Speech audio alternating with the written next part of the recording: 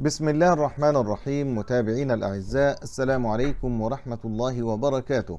أخيرا الحلم التركي يتحقق بعد مرور ستين عاما. تركيا التي سعت بشكل حثيث أن تمتلك سيارتها الخاصة والمحلية والتي تنافس بها الأسواق العالمية. أخيرا أردوغان يعلن السيارة المحلية توغ في الأسواق عام 2022 للتعرف على تفاصيل هذا الموضوع الشيق والنقلة الجديدة لتركيا. أرجو أن تبقوا معنا حتى النهاية ولكن في البداية أرجو أن تسجلوا إعجابكم بالفيديو وأن تشتركوا بالقناة وتفعلوا الجرس ليصلكم كل جديد. أردوغان يقول السيارة المحلية توغ في الأسواق عام 2022 جاء ذلك في كلمة ألقاها الأربعاء عقب اجتماع الحكومة التركية في المجمع الرئاسي بالعاصمة أنقرة. أعلن الرئيس التركي رجب طيب أردوغان أن السيارة المحلية توغ ستطرح في الأسواق عام 2022 وأفاد أردوغان بأن حكومته ملتزمة بشدة برؤية حملة التكنولوجيا الوطنية مشيرا إلى أن برنامج الفضاء الوطني الذي أعلن عنه الأسبوع الفائت يشكل جزءا من الحملة. ويوم 9 فبراير الجاري استعرض الرئيس التركي عشر أهداف لبرنامج الفضاء الوطني من أبرزها إرسال مركبة للفضاء بحلول عام 2023 وتأسيس ميناء فضائي موقع لإطلاق واستقبال المركبات الفضائية. وقيل أن هذا الموقع ربما يكون في دولة الصومال وإنشاء منطقة لتطوير تقنيات الفضاء. وأوضح أن قدرات تركيا في مجال الفضاء وصلت من خلال الاستثمارات التي قامت بها الحكومة على مدار 18 عاما إلى مستوى متقدم من التصميم والهندسة وباتت تمتلك موارد بشرية ناضجة. وتابع الرئيس رجب طيب أردوغان نحن من بين البلدان القليلة حول العالم التي يمكنها تطوير وتصنيع واختبار الأقمار الصناعية الخاصة بها والأهم من ذلك أننا نمتلك أبناء وشبابا شغوفين متطلعين إلى الفضاء ومصممين على حل المجهول في الكون. وأشار إلى أن العمل على مشروع السيارة المحلية جار بالسرعة القصوى وأن قسما كبيرا من أعمال إنشاء البنية التحتية للمصنع قد انتهت. وأضاف الرئيس أردوغان سنضع السيارة المحلية التركية توغ في خدمة شعبنا في التاريخ المستهدف عام 2022 مدعمة بالعديد من التقنيات المبتكرة. وعلى صعيد متصل أفاد أردوغان أن الارتفاع القوي في الإنتاج الصناعي أكد مجددا أن تركيا واحدة من الدول النادرة التي تنهي عام 2020 بنمو اقتصادي إيجابي.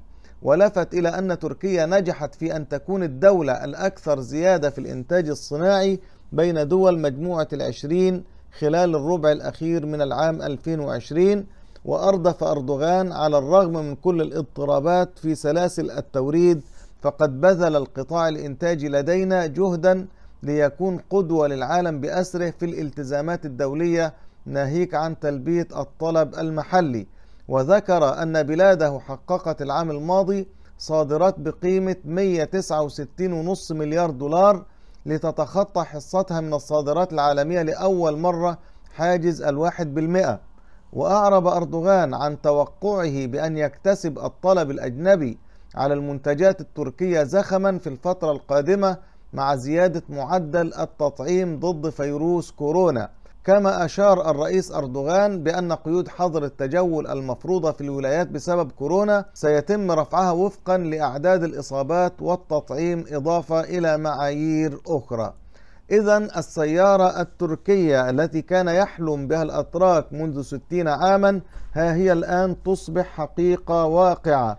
تركيا السيارة محلية الصنع تدخل الأسواق عام 2022 حيث أعلن الرئيس التركي رجب طيب أردوغان أن السيارة المحلية توغ ستطرح في الأسواق عام 2022 وجاء ذلك في كلمة ألقاها يوم الأربعاء الفائت عقب اجتماع الحكومة في المجمع الرئاسي بالعاصمة أنقرة وقال أردوغان سنضع السيارة المحلية التركية توغ في خدمة شعبنا في التاريخ المستهدف 2022 مدعمة بالعديد من التقنيات المبتكرة. كما أفاد الرئيس بأن الارتفاع القوي في الإنتاج الصناعي أكد مجددا أن تركيا واحدة من الدول النادرة التي تنهي 2020 بنمو اقتصادي إيجابي. وفي يوم 27 ديسمبر 2019 كشفت تركيا عن نموذجين أوليين لسيارتها المحلية في ولاية كوجالي. هذه صورة لهذه السيارة وكما نشاهد أن هذه السيارة بلا مرايات تقليدية كما في كل السيارات الموجودة بل يوجد كاميرتين كاميرا جهة اليمين وكاميرا جهة اليسار وشاشة للعرض بحيث أن تكون مساحة أو مسافة الرؤية واسعة وكبيرة جدا مما تجعل نسبة الأمان في هذه السيارة عالية وكبيرة. كما أن الذكاء الاصطناعي والتكنولوجيا الحديثة قد عملت بشكل كبير في هذه السيارة حيث أن تركيا التي نجحت في علوم الفضاء وكذلك أيضا في المسيرات سواء الطائرات أو المدرعات أو حتى الزوارق غير المأهولة جعل من تركيا دولة متقدمة في هذا المجال بشكل كبير. لذلك من المتوقع أن تكون هذه السيارة التركية المحلية خارقة وإمكانياتها هائلة مقارنة بالسيارات العالمية وستكون أسعارها منخفضة كذلك خدمة للمواطنين الأتراك وكذلك أيضا لكي تغزو الأسواق بطيارة مذهلة الإمكانيات وبقدرات عالية جدا وكذلك بأسعار أقل من نظيراتها في دول العالم المختلفة. إذا الرئيس أردوغان أخيرا يقول سنطرح السيارة التركية في عام 2022 مدعمة بتقنيات مبتكرة. لم تؤثر إغلاقات كورونا على حلم تركيا المتوقف منذ 60 عاما.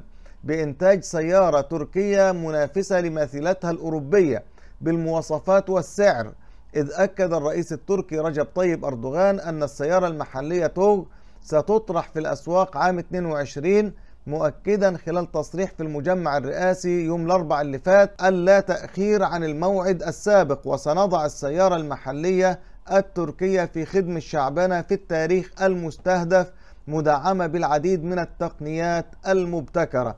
وكانت تركيا أعلنت بعد توقف تجربة سيارة ديفريم عام 1961 البدء بإنتاج السيارة المحلية بشكل كامل عام 2017 بمشاركة شركات مجموعة الأناضول وبي إم سي وكوك القابضة ومجموعة تركسل وزورلو القابضة واتحاد الغرف والبورصات التركية. وتمتلك مجموعة مبادرة إنتاج السيارة التي تضم خمس شركات كبرى 19% من أسهم المشروع وانضم إليها اتحاد الغرف والبورصات التركية بنسبة 5% من الأسهم. وجاءت المرحلة الثانية عبر اتفاقية التأسيس والشراكة للشركة الصناعية التجارية المساهمة لمبادرة إنتاج السيارة التركية في 31 مارس أذار 2018 ليتم في 1 سبتمبر أيلول من العام نفسه تعيين محمد غرجان كوركاش رئيسا تنفيذيا للشركة الجديدة وتبدأ عجلات المشروع والسيارة بالتصنيع بانتظار الدوران. وتشير مصادر الشركة إلى أن الاستثمار سيركز على الفئة التي ستحقق نموا أي السيارة الكهربائية من فئة السيارات العائلية المدمجة متوسطة. لتسد حاجة السوق التركية ومن ثم طرح خمسة نماذج أخرى. وبعد عامين سيتم الانفتاح على الأسواق الخارجية والتركيز على الاتحاد الأوروبي. ثم رفع عدد الأطرزة إلى خمسة في السنوات اللاحقة. ويرى اقتصاديون أن مشروع السيارة التركية وعبر مراحله الثلاث يمكن أن يساهم بدعم اقتصاد البلاد بخمسين مليار يورو خلال 15 عاما وتقليص عجز الحساب الجاري بمقدار سبعة مليارات يورو. إضافة إلى توفير أربع ألاف فرصة عمل بصورة مباشرة وعشرين ألف أخرى بطريقة غير مباشرة. كما يمكن للسيارة التركية أن تغطي خلل العرض والطلب بعد كورونا. ويقول مدير المبيعات بمعرض سيارات بمنطقة إسنلر بإسطنبول طوفان دوماز للعربي الجديد أن الطلب ارتفع على عموم السيارات المستعملة وتضاعف سعر بعض السيارات فيما زاد السعر بأكثر من 50% على جميع الأصناف. ويضيف اليوم لا تجد سيارة مستعملة بأقل من 10 ألاف دولار في حين متوسط الأسعار يتراوح بين 12 و 25 ألف دولار. وحسب الطراز وسنة الصنع وحالة السيارة والمسافة التي قطعتها ويبدأ سعر السيارة الجديدة من 30 ألف دولار. وحول أسباب ارتفاع الأسعار وزيادة الطلب يضيف دوماز خلال حديث سابق مع العربي الجديد أن السبب الأهم هو عدم وصول سيارات جديدة إلى تركيا ما أدى لنفاذ معظم مخازن السيارات بالمعارض وفروع الشركات بعد توقف المعامل بأوروبا. المصدر الرئيس للسيارات التركية وقطع الغيار الصينية بسبب تفشي وباء كورونا. بذلك متابعينا الأعزاء يكون الحلم التركي السيارة المحلية توغ تكون في الأسواق عام 2022 والتي بشر بها أردوغان تركيا التي تصعد في الفضاء تركيا التي تصنع المسيرات والدبابات والأسلحة أيضا لا تتوقف عن خدمات المواطنين وأن تفتح سوقا جديدة بسيارتها المحلية التي تنافس الشركات العالمية. نتمنى لتركيا التوفيق دائما متابعينا الأعزاء.